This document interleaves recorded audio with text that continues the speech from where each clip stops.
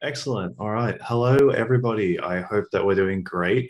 Um, I know it's probably been 19 hours or so of people watching talks so far. So, um, hey, so I'm Cole. I've already had a bit of an intro. I also recently started my own company, but we're not here to talk about that. We're here to talk about some fun stuff, basics, right? So, why talk on basics? It's, it's so off, right? I I figured that we have like probably a thousand talks beforehand They were all focused on really technical topics, whether it's flagship um, things or artificial intelligence or developer education. Yeah, heaps of geniuses before me have talked about lots of stuff. And I know it's late in the day for all you folk in the US, so I thought we'd uh, cover something a little bit easier. Let's go to the basics, right? So, you, you know, you remember the days when you're told that computer science is where you do science, but you, you kind of got computers. It's like nothing like this at all. we sit there, we learn the good things, we smile, we giggle to each other. Afterwards, we head over to the pub after like two hours of hard, riveting lectures about algorithmic complexity, play some beer pong, and then uh, I think um, that's that's like my recollection of what university kind of was but it's probably more like this actually. And I think, you know, I was coding beautiful menus like this to to help us um, achieve our assignment goals, right? And look, it, it could have just as easily have been blocked out by this, but I'm sure that we've all been in this situation before, right? Where we've all been coding if menu equals one, if item equals one, if value equals pizza. terrible, terrible code. So, what I want to cover this talk is literally basics. So, very simple things, stuff that you would have learned very early on in your careers. Because doing your basics well leads to more secure code.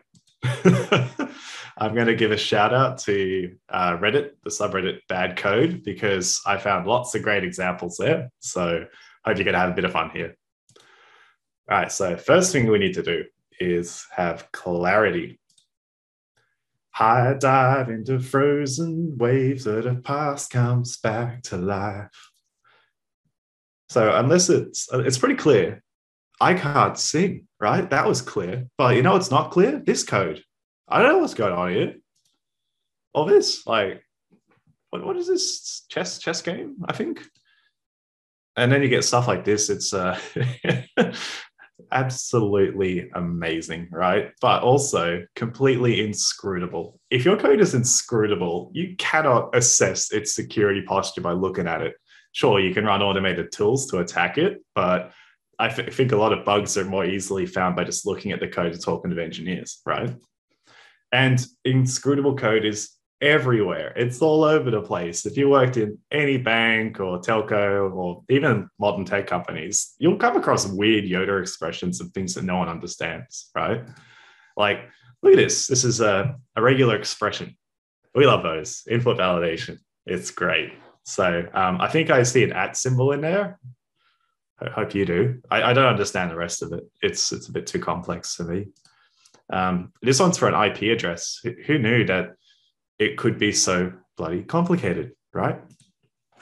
I, I feel like I have no idea what I'm doing when I'm dealing with irregular expressions that are so crazy complicated.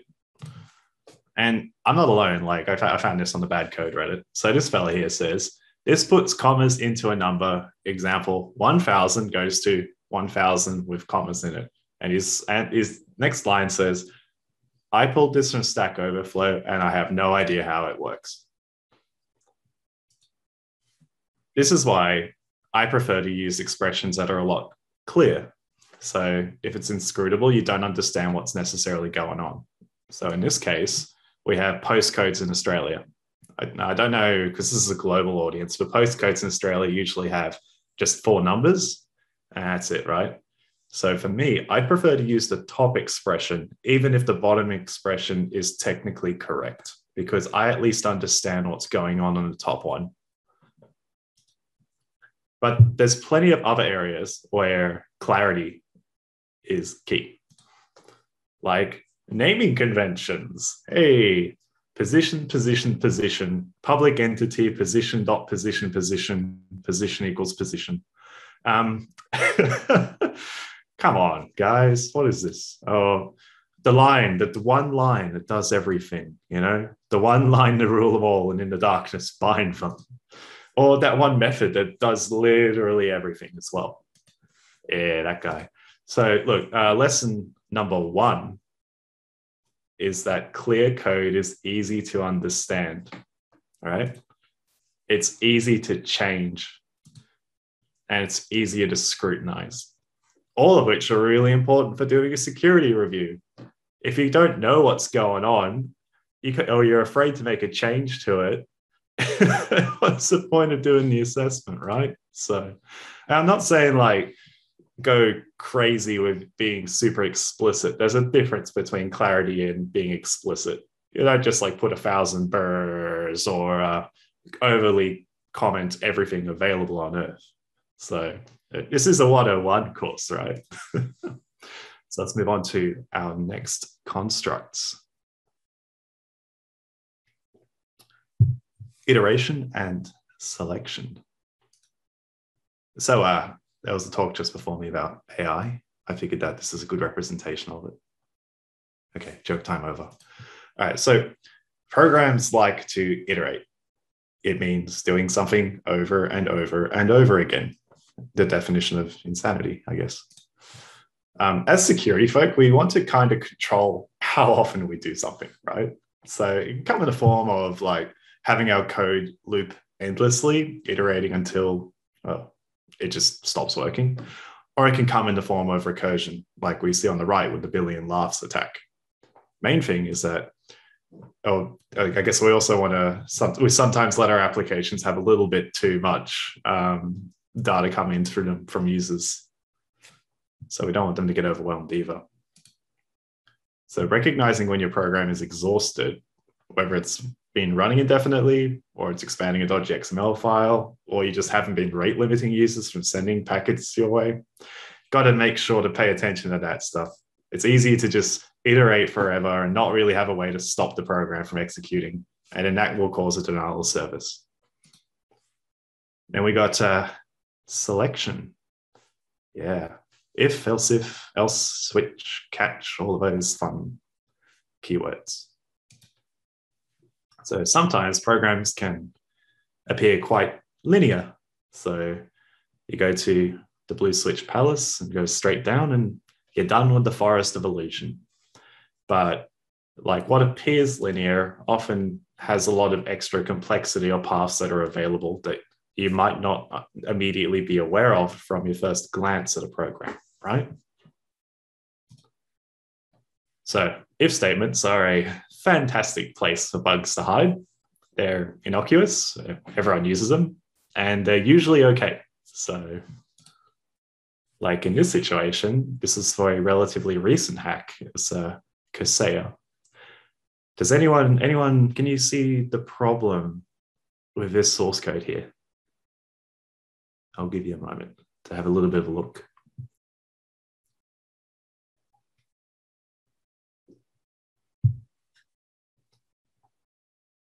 All right, time up. You see the red arrows? Yeah. So um, besides the code being a little bit inscrutable, because really there are five methods for authentication up top. What, what's going on there? So um, they fail open with an else statement. And that's something that's very easy to miss because static analysis tools don't have context. So this one is another derp from a fortnight ago, actually, not too long ago. So it's uh, we check to see if we have an authorization header first, right? Well, let's let's just let's just say that we don't have an authorization header. We're going to ignore all the code up the top. Don't worry about that. and then we end up down this path here. So we check it out, and then we have a statement about whether the handlers auth failed before we actually go in there and return an error code, right? Well, I mean, if you look at the constructor, yeah, yeah, computer science 101, constructors, it shows that the auth failed um, variable is instantiated to false by default. So we go back to that code. Yep, that doesn't happen. So what are we left with?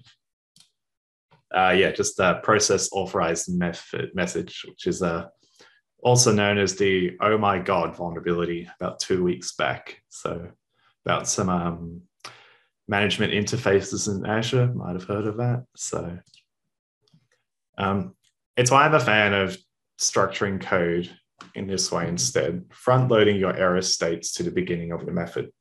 If it, you know, it's quite clear about what your requirements are for validation, for authentication, for authorization at the very top. And as long as you sequence them correctly on a per method basis, it's hard to make mistakes like we saw in the previous slide. And you're much less likely to write code that's crazy like this. Um, quick talk. So there are lots and lots of basics in the world. Um, you already know to probably look at variables now, see how they're constructed and what they can contain. Um, you can look at things like truthiness in JavaScript. You can look at like short circuiting conditions as well. I can't cover everything in 25 minutes. And I know you're all probably a little bit tired after watching such a long conference. So um, let's let's sum up. Clear code is easy to understand. If you know what a programmer's intentions are, you're starting from a great baseline for security. If the code is brittle and hard to change, how can you fix any security defects, right? Clear code is reliable and you can make changes and see how they work and you want to have code that you can scrutinize. As much as I love the obfuscated C code contest, I don't like trying to review that kind of stuff. It's not fun, hurts my brain. I have a tiny, tiny brain, not a galaxy one. So, and yeah, basically any efforts to scrutinize code that's been deliberately obfuscated are really time intensive. So try to make it easy to read. So your basic constructs matter as well. Don't just glance over if statements, for loops, while, switch, try, catch. Um, all of those present opportunities to create business logic flaws. All right. So anyway, um, happy 20th anniversary OWASP. I'm Cole Cornford. Quick fun talk, lighthearted, easy. Uh, hope you've been having fun with Back to Basics. Class dismissed.